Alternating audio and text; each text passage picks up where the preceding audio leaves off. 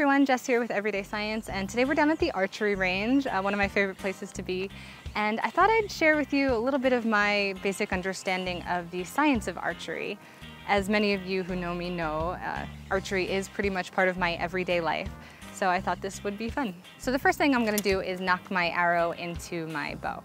So when I pull the string back, what this is gonna do is it's creating tension, the potential energy or the potential for energy in the limbs of the bow, when I release that, all of that stored energy or potential energy is going to be converted into kinetic energy or the energy of motion into the arrow, which is gracefully going to fly off towards the target.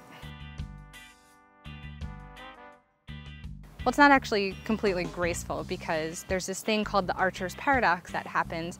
And it's basically when the arrow first leaves the bow, it does this fishtail motion. Um, it kind of goes one way and then to the other and it bends and oscillates in the air on the way to the target. This happens because the spine or the shaft of the arrow is pretty flexible and of course that depends on what kind of arrow you have. Now other things with the arrow when it's in flight, um, there's also the fletching or the feathers on the end of your arrow. And then there's also the tip, which creates weight at the end of it. Um, what the fletching does, it creates a kind of a spiral motion. And with the two things, these things help the arrow stabilize while in the air.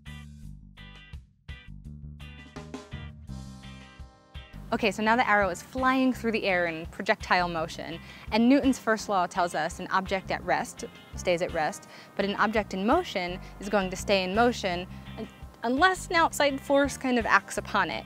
Now in this case, this outside force is gravity. So projectile motion is not only horizontal velocity or speed and vertical velocity, uh, but it's also this force of gravity kind of acting upon it.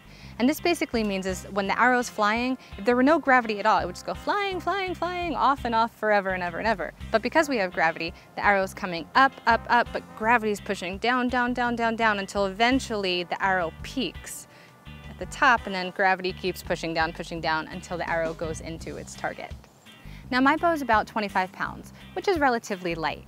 Now the reason why this matters is because if you have a heavier bow, your arrow is going to travel faster to the target. So if I'm standing here with my 25 pound bow and somebody's shooting directly behind with a 50 pound bow, they're going to have a trajectory probably about here, whereas I'm going to exaggerate here, I might point my arrow a bit higher than theirs in order to reach the same target. And this is because the longer an arrow is in flight, the more time gravity has to act upon it.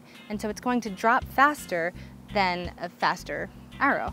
So heavier bow, faster arrow, lighter bow, slower arrow, and the more time that gravity has to bring that arrow down to the ground. And so the trajectory is going to be a little bit higher than somebody with a heavier bow. Now this was just a pretty basic overview of things. I did leave out things like friction and air resistance and a couple other things, but I just wanted to share with you a basic overview of my understanding of the science of archery. Thank you so much for watching. I'm Jess with Everyday Science.